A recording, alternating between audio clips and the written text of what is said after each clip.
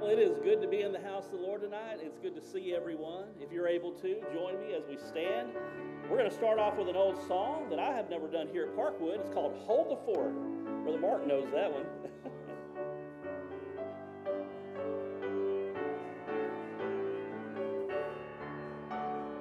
Oh, my comrades, see the signal wave.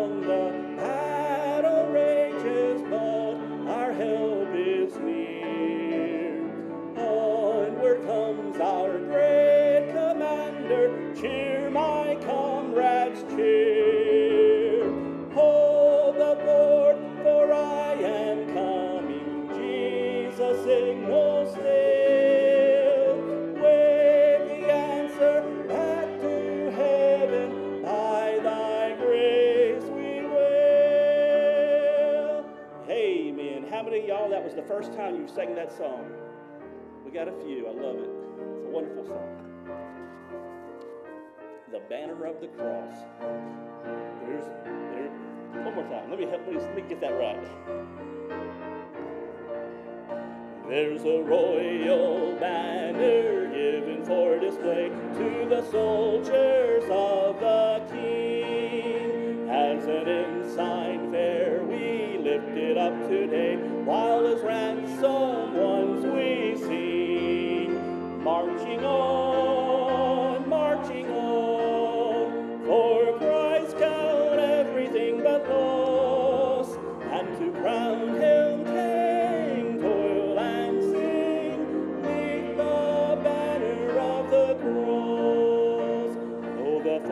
may rage and gather as the flood. Let the standard be.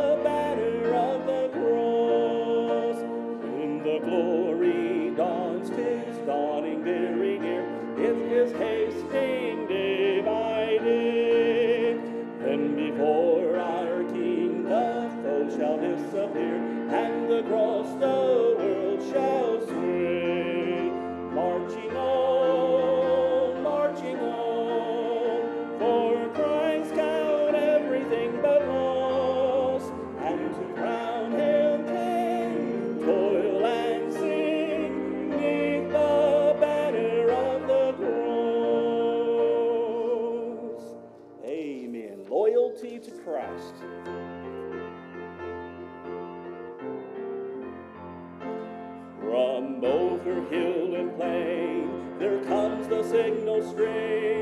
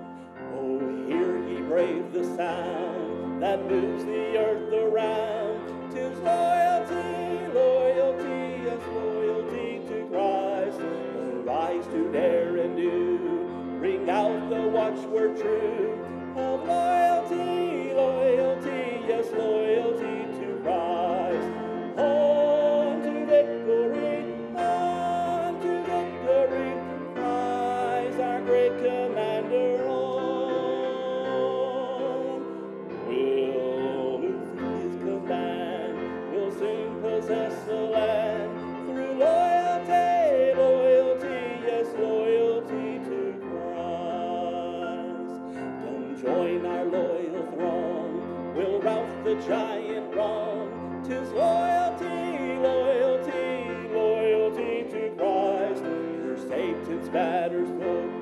will send the bugle note.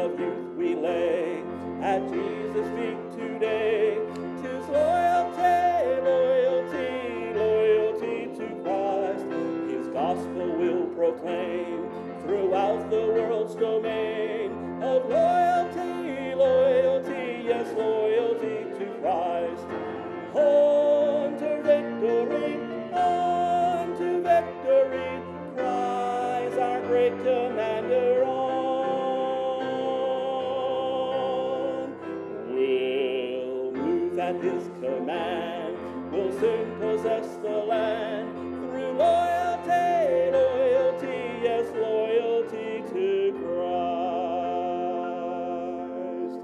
Amen. Let's sing about that wonderful grace of Jesus.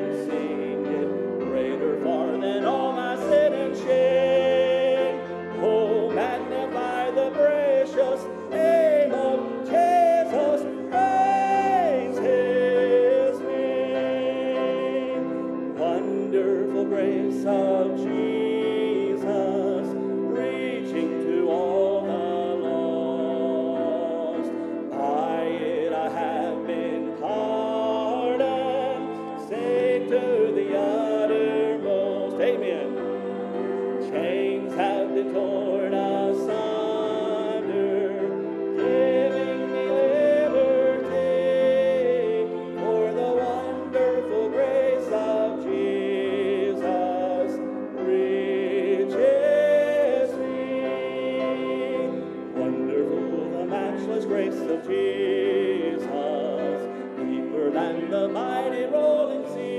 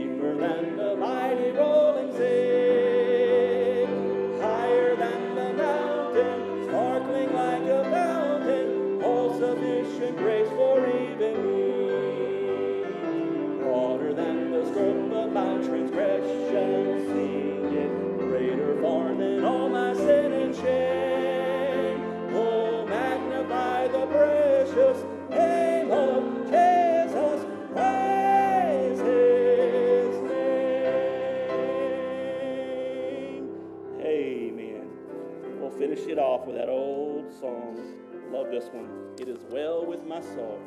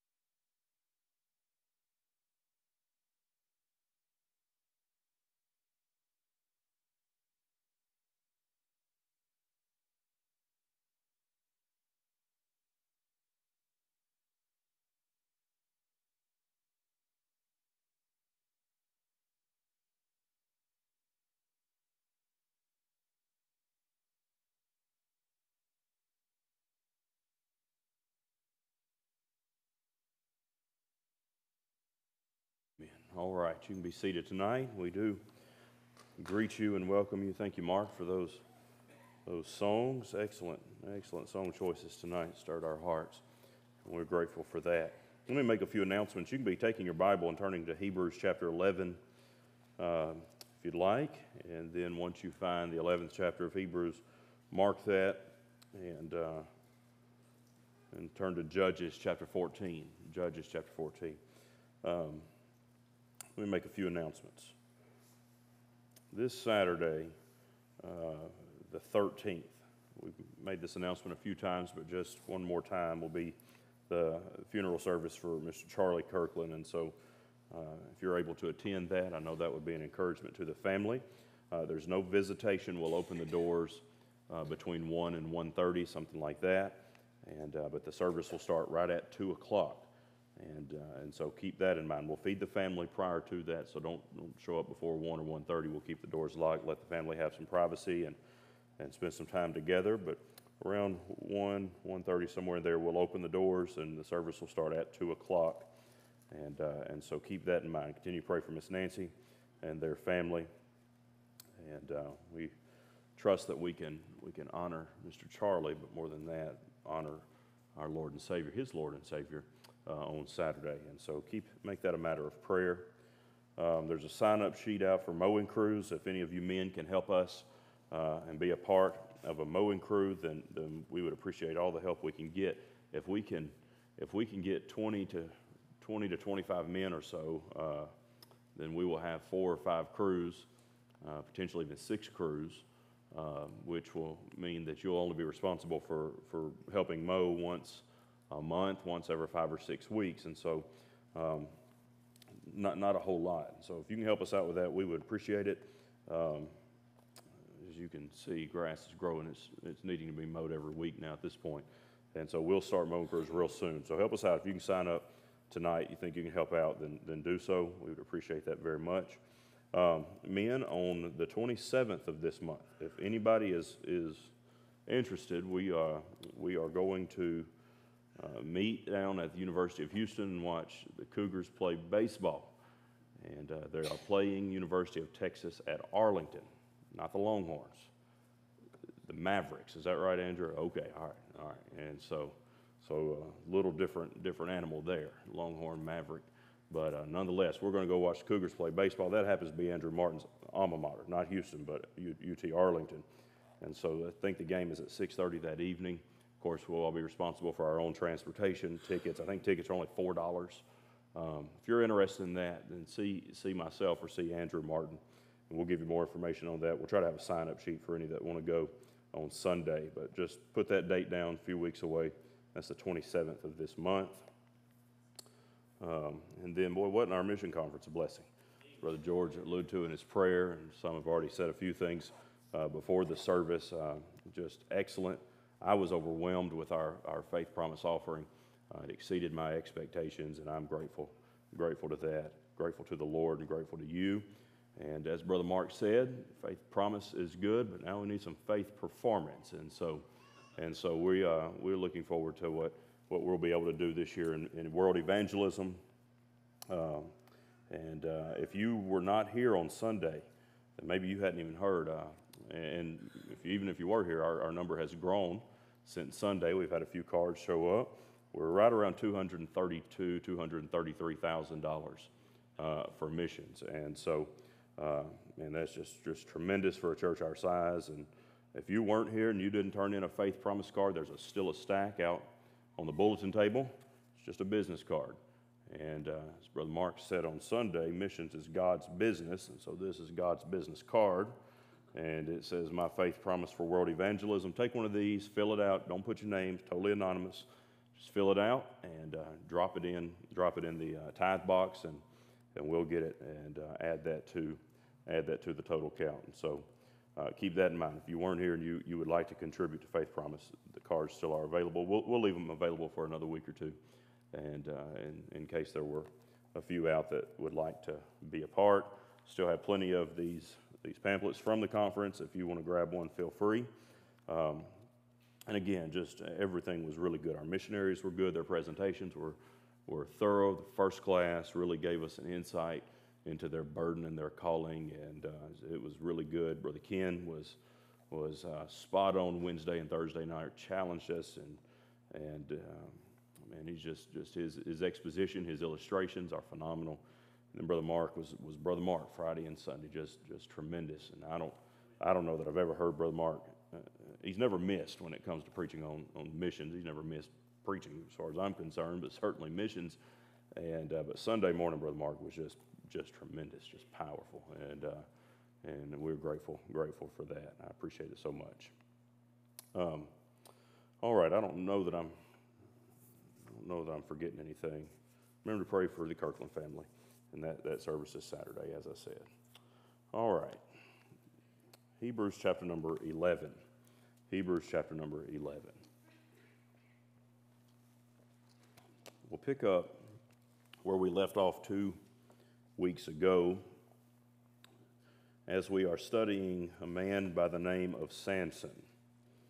Well, Samson's one of my favorite characters in all of the Bible. He's such an interesting study. I told you two weeks ago that low living bears a high cost. Uh, it's often been said by different ones that sin will take you further than you want to go, keep you longer than you want to stay, and cost you more than you want to pay. I think we could change that and say cost you more than you're able to pay. Um, sin is oftentimes very subtle, it's very small. One writer compared sin to a spider bite. He said this I quote, he said, talking about a spider bite, you can barely feel the bite, but soon the poison begins to spread. What was just a little prick on your skin becomes a terrible boil.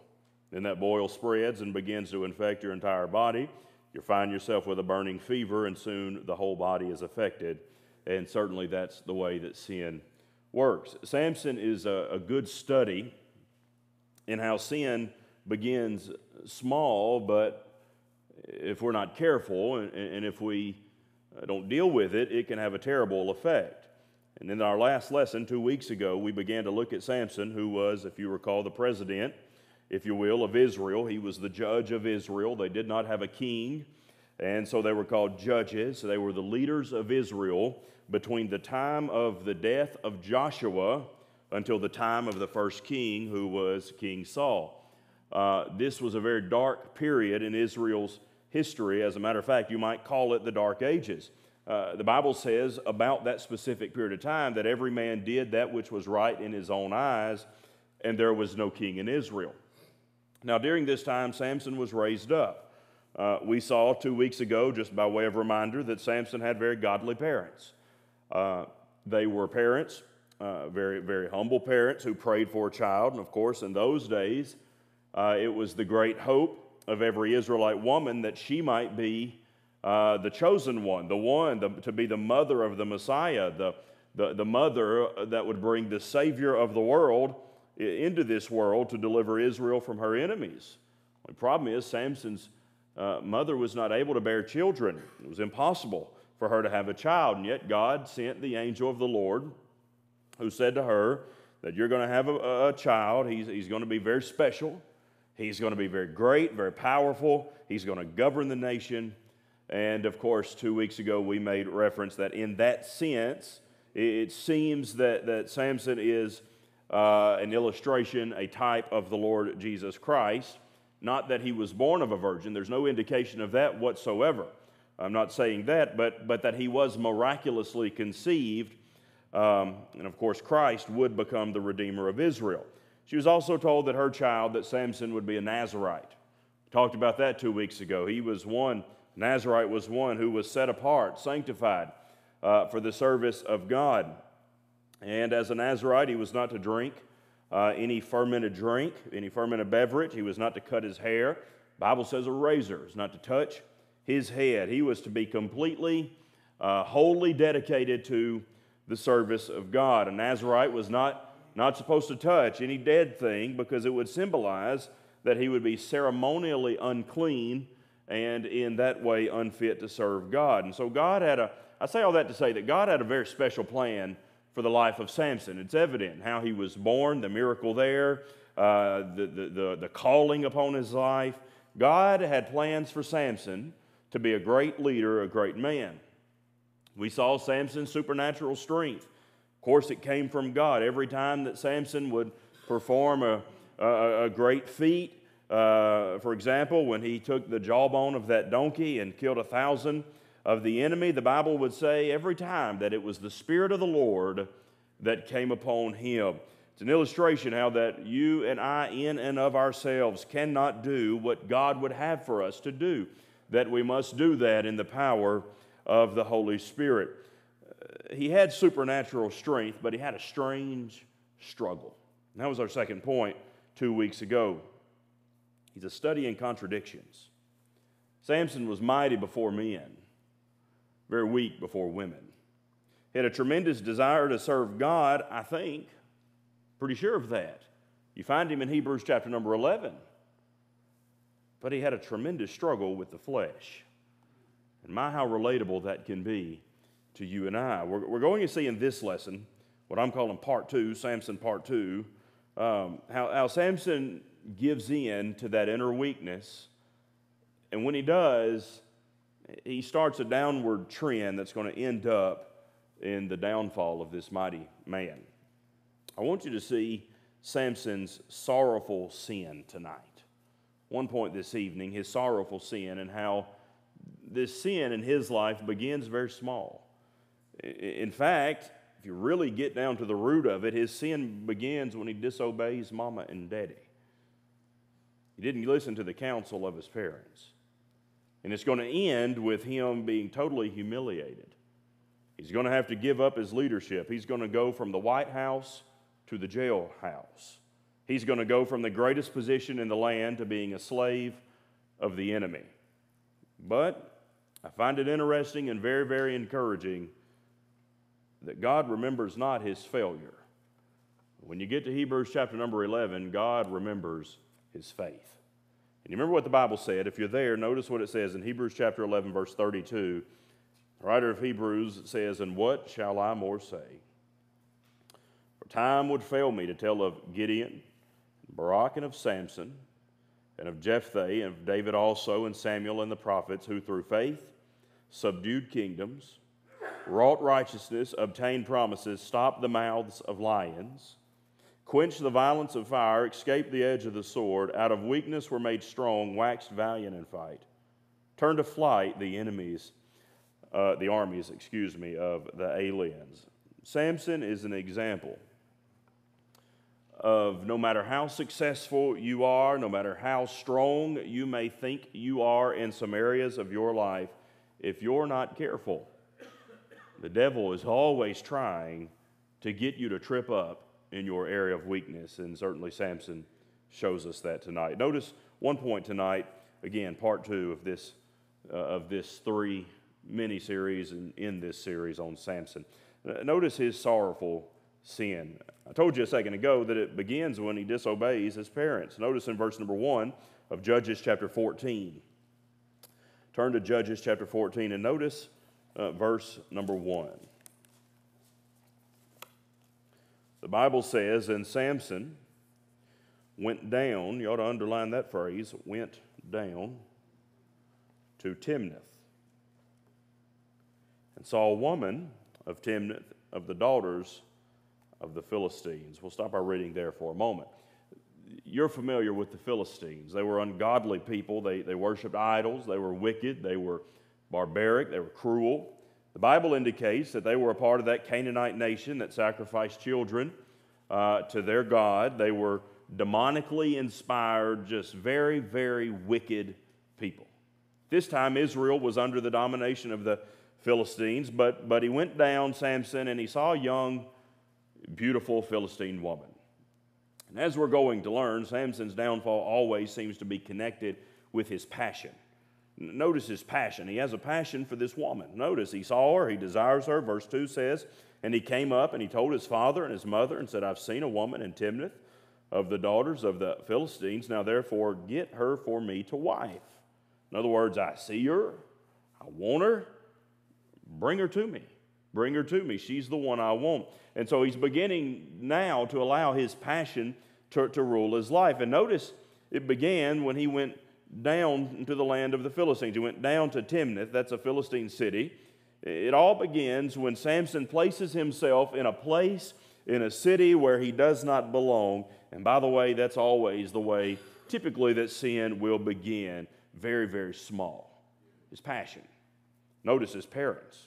Verse 3 Then his father and his mother said unto him, Is there never a woman among the daughters of thy brethren or among all the people thou goest to take a wife of the uncircumcised, uh, uncircumcised Philistines? In other words, Samson, why can't you find someone, an Israelite woman? And Samson said unto his father, Get her for me, for she pleases me well. Now, a part of this is not necessarily bad. I'll say more about that in a second. But a big part of it is. Notice in verse 4 But his father and his mother knew not that it was of the Lord that he sought an occasion against the Philistines. There you go. For at that time the Philistines had dominion over Israel. Now, what part is, is not necessarily bad? What part is of the Lord?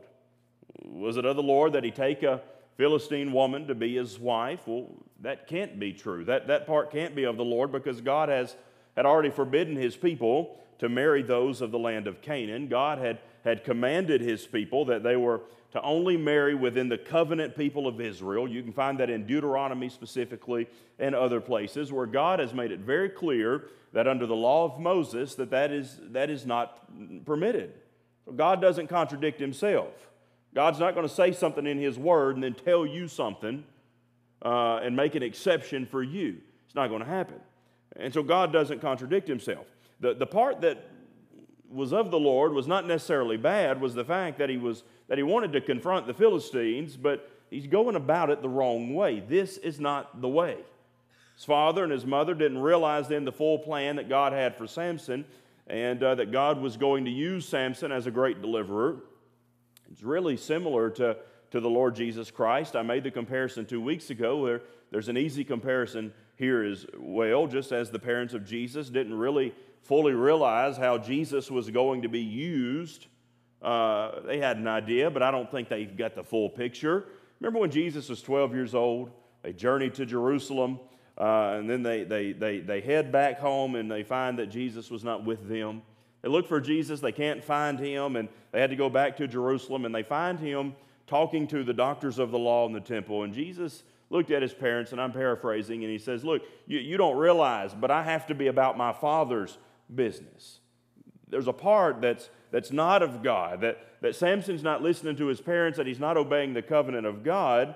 Uh, and of course, we know the Ten Commandments says, God says, Honor thy father and thy mother, that it may be well with thee, and that your days may be long upon the earth. God has given Samson a father and a mother that, that were godly people. Godly people. Samson is about that age where we've all been and, uh, and, and you that have children that are teenage and older, you know this very well. He's at that age where Samson knows more than mama and daddy. Twice as much as mama and daddy, if not more. You know what I'm talking about. You've been there personally as that child, and you've been there on the side of, of the parent. And, uh, and then if you're like me, your kids aren't quite there yet. They're, they're coming. It's coming. Uh, Parents, you're just behind the times. You're behind the times. You, you don't understand. You're out of touch with society, with culture. Samson is in a place where he thinks he knows more than mama and daddy. And he's insisting, No, no, daddy, I hear you, but this is the woman I want to marry. I know she's a Philistine. I get it. She, she's not a believer. She's an idol worshiper. I know that God has said we, we aren't supposed to marry these people, that we're not supposed to be unequally yoked, but, but uh, she's the one I want. She's the one I want. And So, Daddy, go get her. Well, Daddy tries to reason with him Samson, Samson, why don't you ever look for a wife among our people? Why don't you follow God's word and God's command? Why do you always want to be rebellious? Why do you always think you have a better idea and a better plan and, look elsewhere than, than what God has provided? And by the way, you, you know this, but that's the first commandment with promise honor thy father and thy mother, that it may be well with thee and your days may be long upon the earth. In the New Testament, the Apostle Paul is talking about the family. and said, Children, obey your parents in the Lord, for this is right. Samson died a very young man. I wonder if it's because he disobeyed God and also disobeyed the wisdom of mama and daddy. I can imagine all the neighbors talking about Samson, probably saying things like this Well, Samson's parents, uh, they must not be very good parents. They must not be leading him in the right way because Samson, he's not even, he's not even dating someone who's a part of the covenant people. He's out there dating an ungodly woman, a Philistine woman, a demon worshiping woman. He's dishonoring his parents. But then notice his persistence. Verse 3, the latter part it says, And Samson said unto his father, Get her for me, for she pleases me well. But his father and his mother knew not that it was of the Lord that he sought an occasion against the Philistines, for at that time the Philistines had dominion over Israel.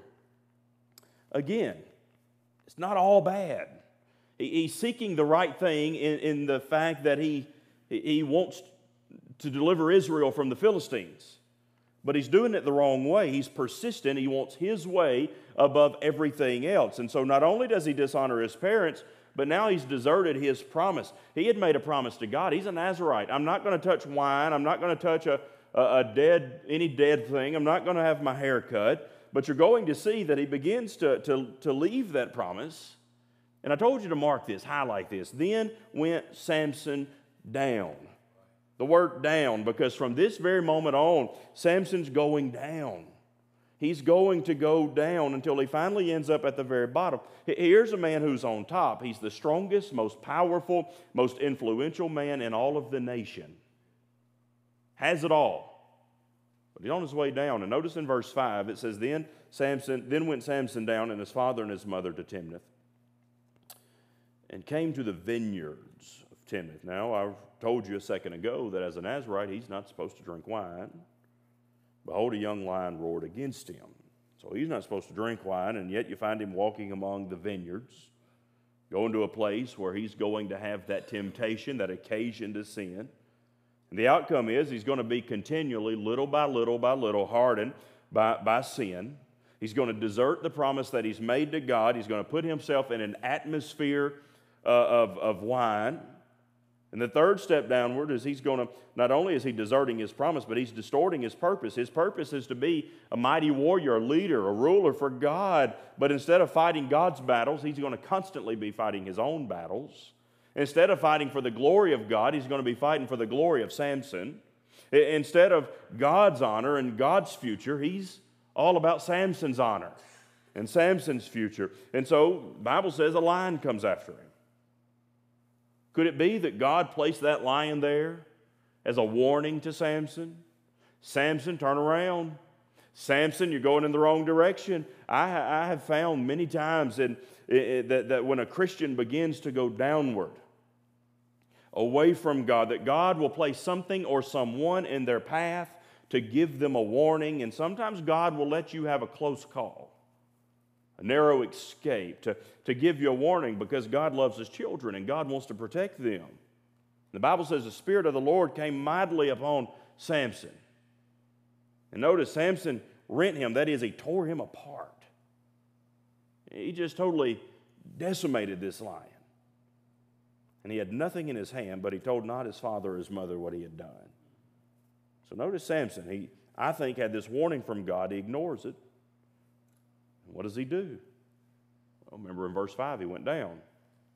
Notice the danger. Verse 7, and he went down.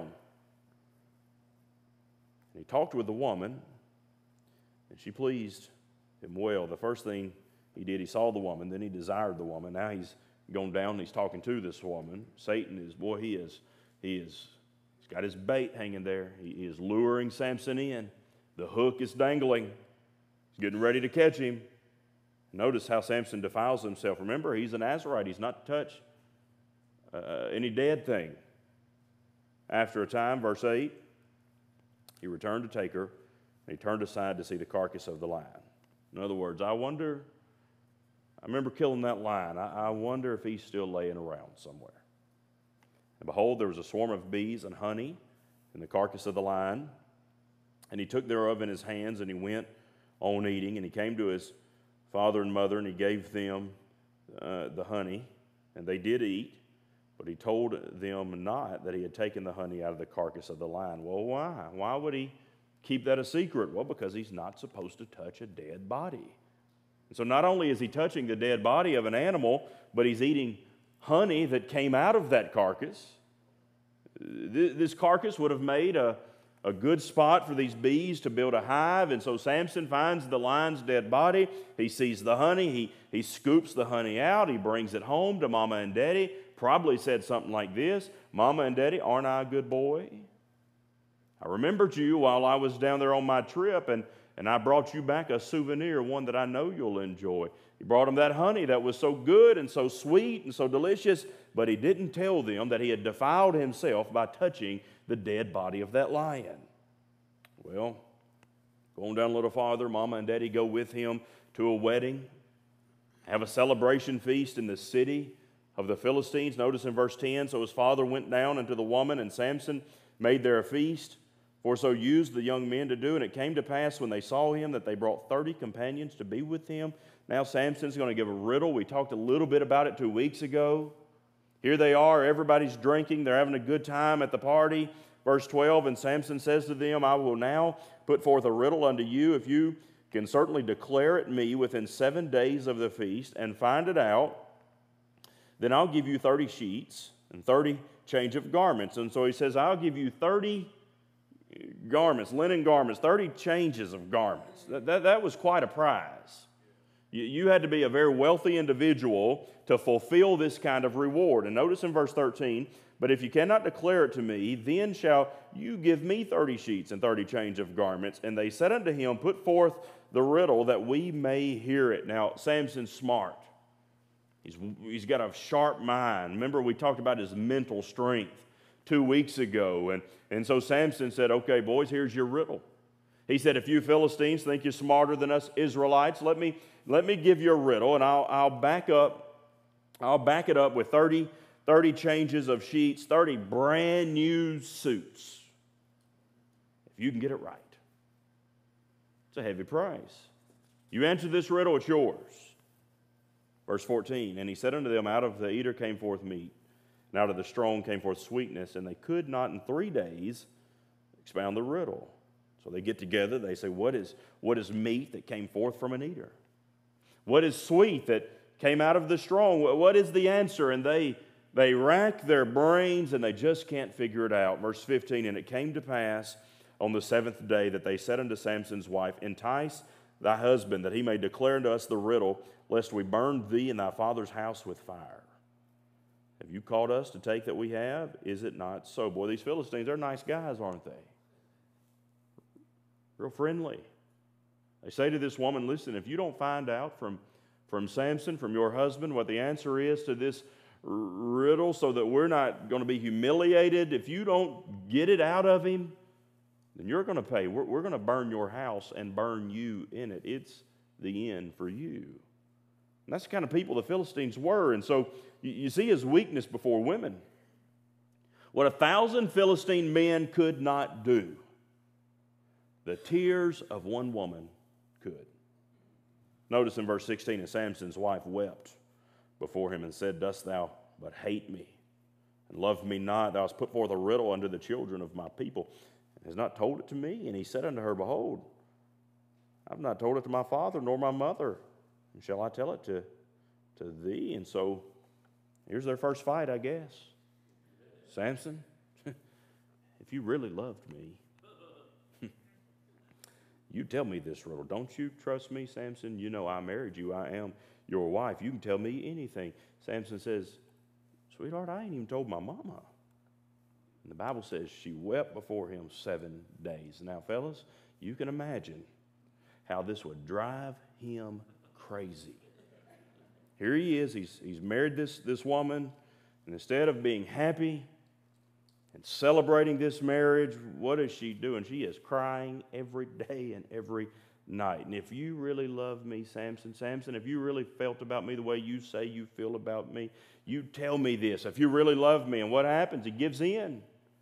Notice it came to pass on the seventh day, verse 17, that he told her because she lay sore upon him, and she told the riddle to the children of her people. That is, she just drove him crazy until he told her. Verse 18 And the men of the city said unto him on the seventh day before the sun went down, What is sweeter than honey?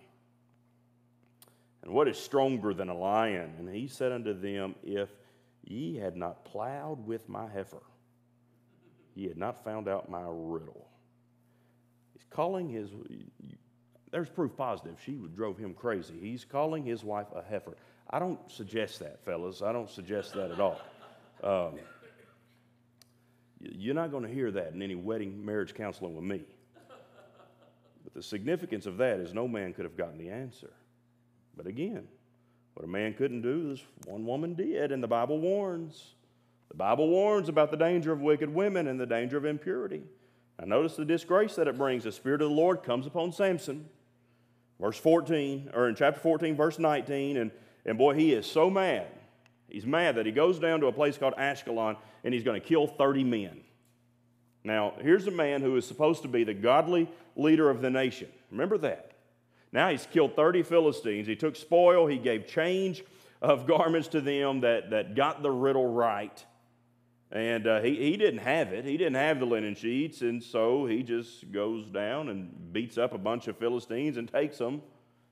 And he went to his father's house in verse 20. But Samson's wife, notice this, was given to his companion, whom he had used as his friend. Now Samson's really mad. He's not through. You get into Judges 15, you're going to find out that he is he is not finished at all with his revenge. In order to, to get revenge on these Philistines who got the riddle, notice in verse 4 Samson went and caught 300 foxes. This is amazing. And he took firebrands and burned tail and turned tail to tail, tied them up tail to tail. And he put a firebrand in the midst between two tails. And when he had set the brands on fire, he let them go in the standing corn of the Philistines and burn up both the shocks and also the standing corn with the vineyards and olives. Now, I don't have a lot of money. I don't have much money at all. But I would give a large percentage of what I do have to watch Samson catch 30 foxes, tie their tails together, set them on fire, and turn them loose in a field of corn. That had to be something to see. Notice in verse 6 Then the Philistines said, Who, Who's done this? And they answered Samson, the son in law of the Timnite, because he hath taken his wife and given her to his companion. So he, he's lost his wife now. He's lost his honor. He's disgraced himself before God. He's disgraced himself before uh, God's people, the Israelites. In verse number 8 of chapter 15, Samson is staying in a cave in the rock of Etam. He has so distorted his purpose in life. He is supposed to be fighting God's battle, and instead he's doing silly things like trying to get revenge on his in laws by wiping out their cornfield. You see that he's going down. You see the downfall of this mighty leader. Notice, defiled his purity. His wife was given to his friend. So now he's not only lost his reputation, he's lost his wife. He's disgraced his family, but boy, he's not through. Notice in verse 1 of chapter 16. Then went Samson to Gaza and saw there a harlot and went in unto her. Gaza is a major Philistine city, one of five. Verse 2 And it was told the Gazites, saying, Samson has come hither. And they compassed him in and laid wait for him all night in the gate of the city and were quiet all the night, saying, In the morning, when it's day, we're going to kill him. So he's going into this harlot. You see the really the, the repetitiveness in his lifestyle. Here he is.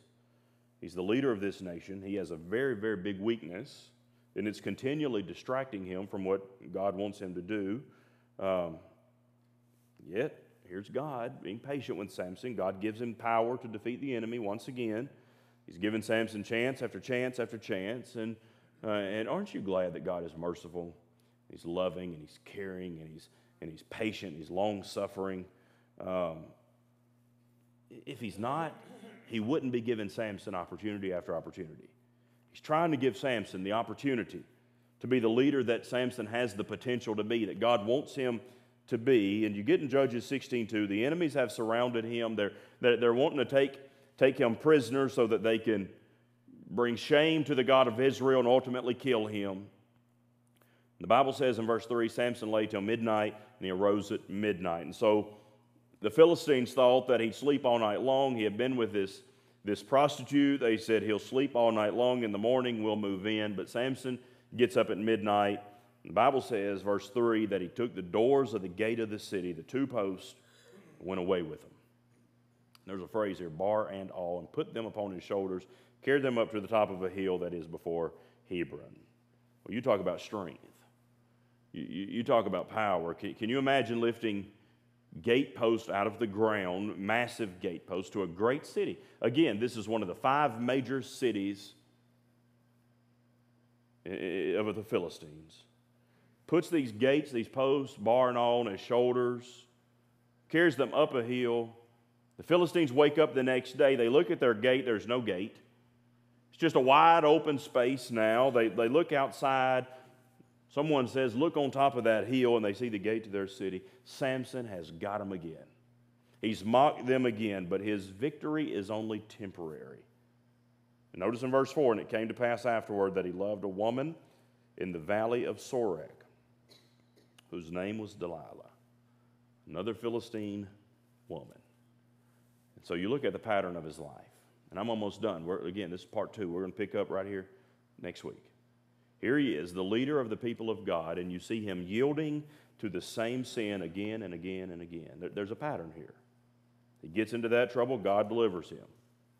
He goes back, he gets into the same trouble, God delivers him again. He goes back, he gets into the same trouble, God delivers him. But we're going to see next week that sin is leading him downward and it is going to destroy him. And that is exactly what God teaches about sin in His Word. God expects a standard from His children, expects a standard from, from leaders. And, and it doesn't really matter what popular opinion says, it really doesn't matter what modern culture says, what social media says, it doesn't matter what the polls say. God has a standard. God has a standard. There's a principle in God's Word. There's principles throughout God's Word. And when Christians ignore that, when leaders ignore that, then there's a price to pay. Samson could have lifted Israel up, but instead he brought Israel down. He's defiled his purity. Now comes one last opportunity, one last chance to be the leader, the man, the judge that God wants him to be. And we'll take a look at that next week as we look at the story of Samson and Delilah. We'll stop there tonight. Let's stand to our feet. We'll be dismissed in a word of prayer this evening. Trust and pray that you have been blessed by our study of God's Word together tonight. Again, if you weren't here Sunday and you'd like to be a part of our Faith Promise program, grab one of these cards. They're out there by the bulletin. Just fill it out. Promised each week, promised yearly, promised each month. Just mark one of those. There are amounts there. If, if one of those amounts doesn't work, there's a blank. You can put any amount you want in that blank. Just fill it out, drop it in the tithe box, and we'll empty that after the service. Amen. Let's be dismissed in a word of prayer. Thank you again for your, your attendance and your attention. Remember Saturday at 2 o'clock if you're able to be here. Uh, I know that would encourage the family. No visitation. We'll open the doors between 1 and 1.30 uh, on Saturday. Let's, let's be dismissed. Brother Gary Smith, pray for us if you would.